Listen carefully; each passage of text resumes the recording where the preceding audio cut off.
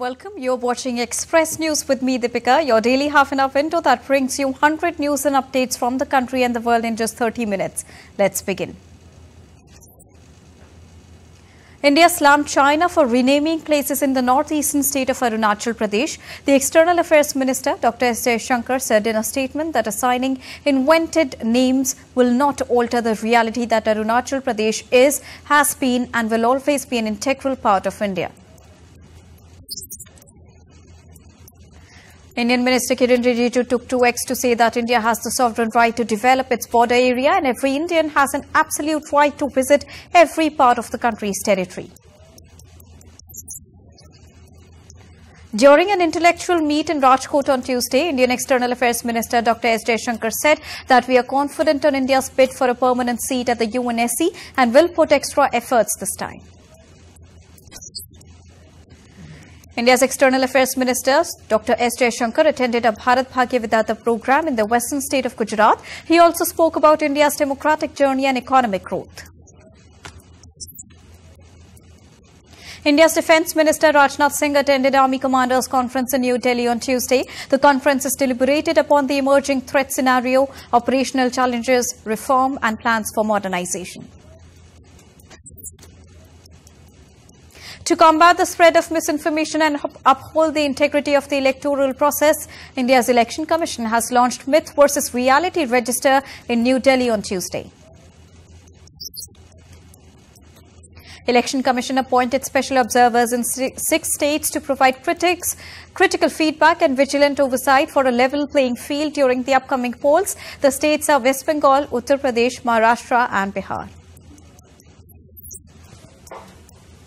India's Prime Minister Narendra Modi on Tuesday addressed a public rally in the northern state of Uttarakhand, during which he slammed the opposition Congress party for appeasement politics. India's Home Minister and BJP senior leader Amit Shah begins the party's campaigning in Karnataka today. He addressed a public rally at the Bengaluru Palace ground. Member of Parliament in the lower house from Bihar's Muzaffarpur, Ajay Nishad, on Tuesday joined the Congress party. Nishad resigned from the BJP earlier today.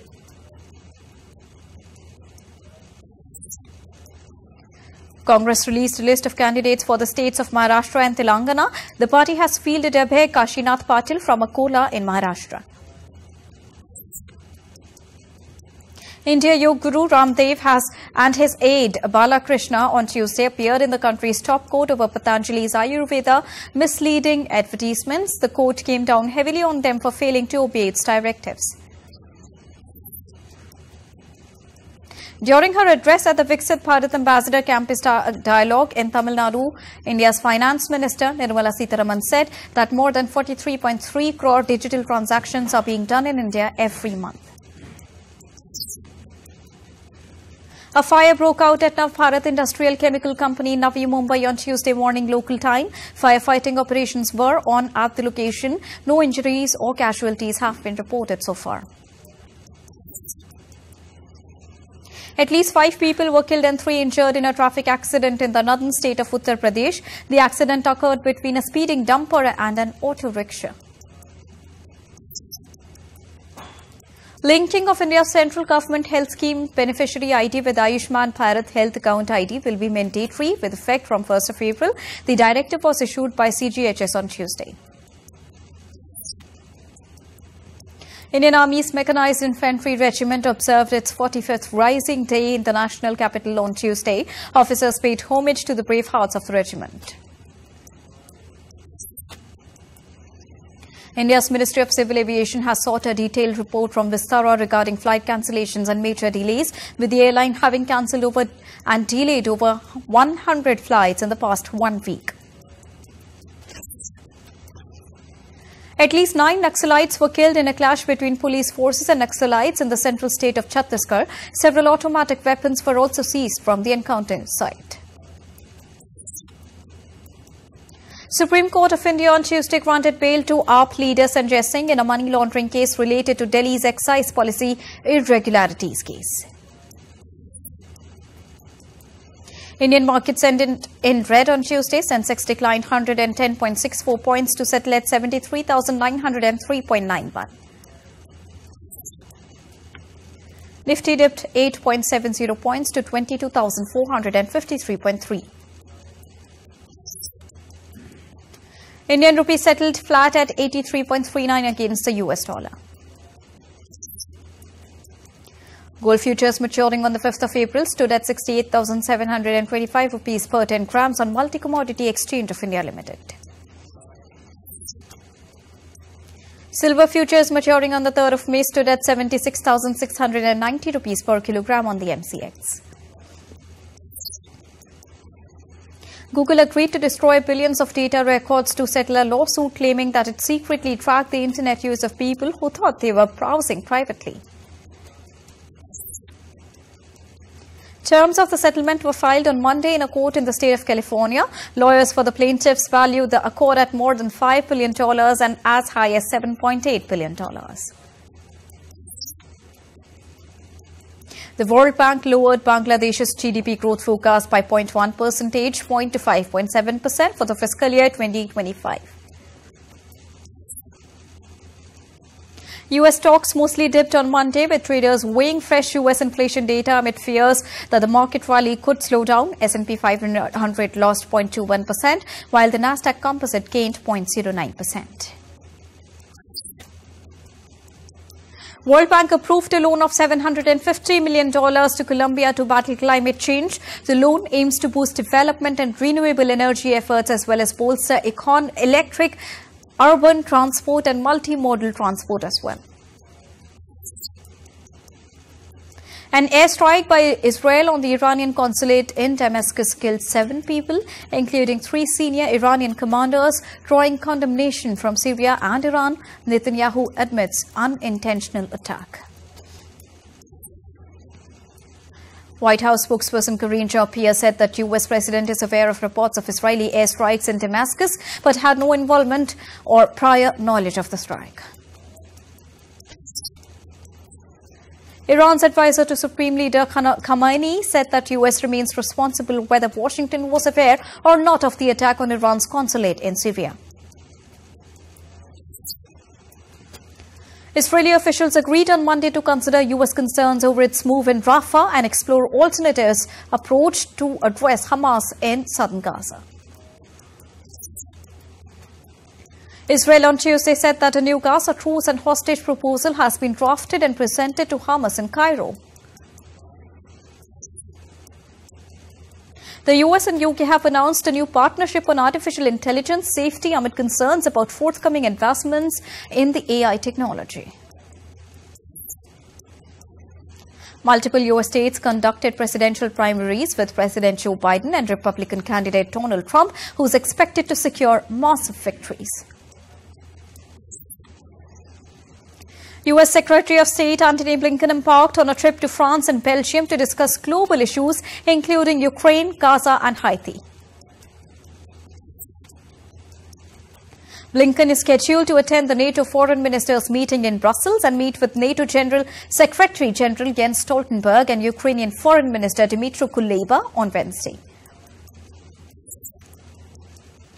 Temporary channels were opened by the U.S. authorities at the Baltimore bridge collapse site to allow access for clean-up operations.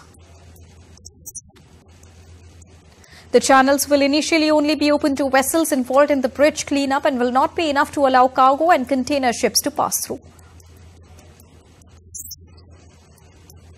Russia and Ukraine each claim to have downed the other drones over the Black Sea on Monday. Both Russia and Ukraine are increasingly focusing on developing and deploying unmanned aircraft in their ongoing conflict. A Moscow court ordered the pretrial custody of a 10th suspect in the 22nd of March concert hall attack until the 22nd of May.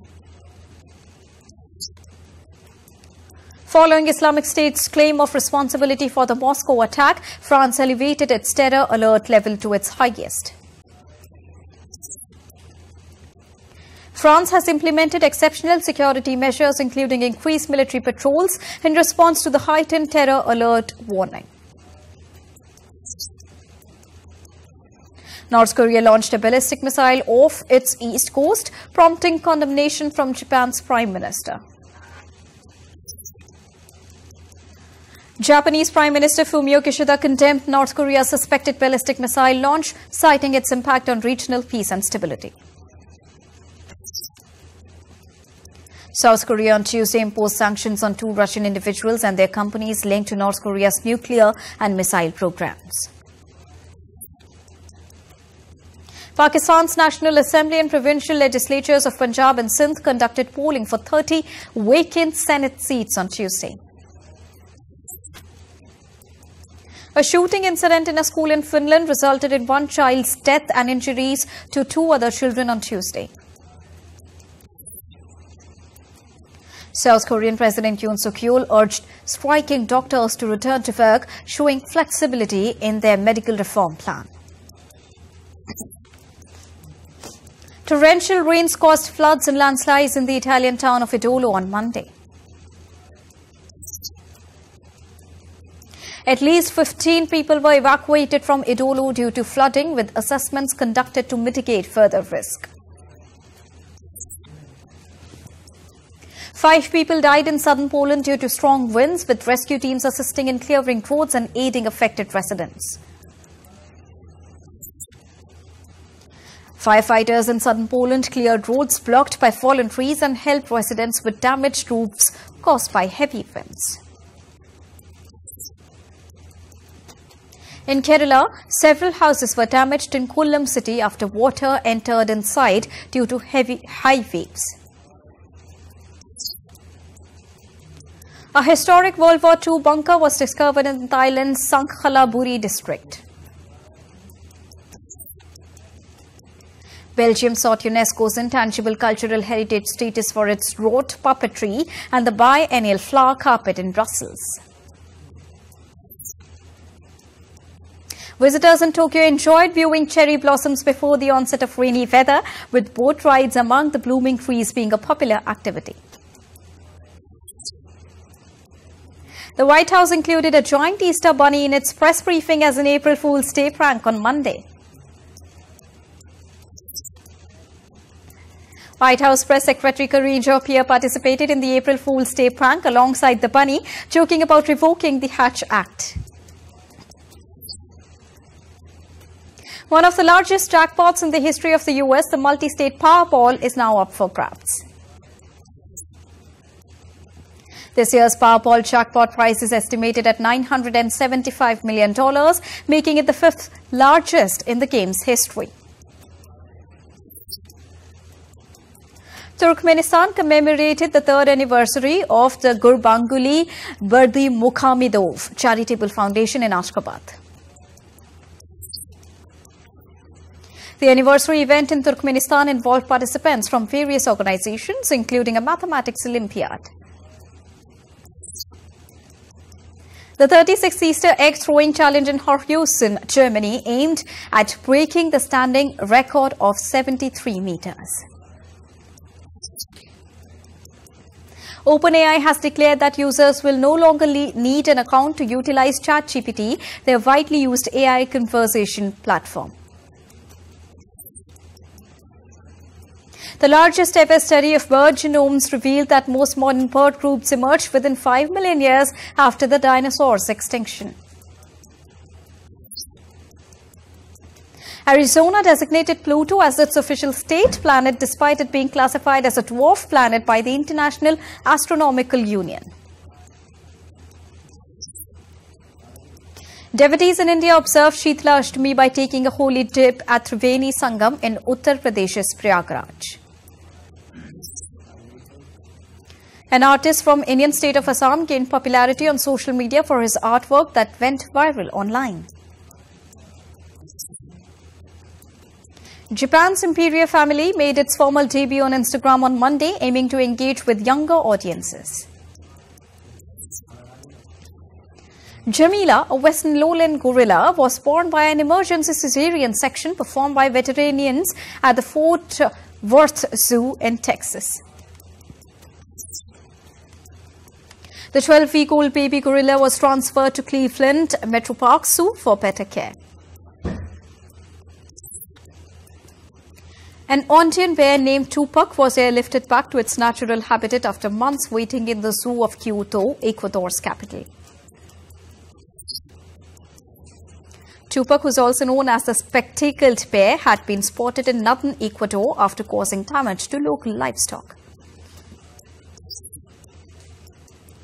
Iraqis celebrated the ancient Assyrian New Year called Akitu in Duhok with traditional festivities and dances on Monday.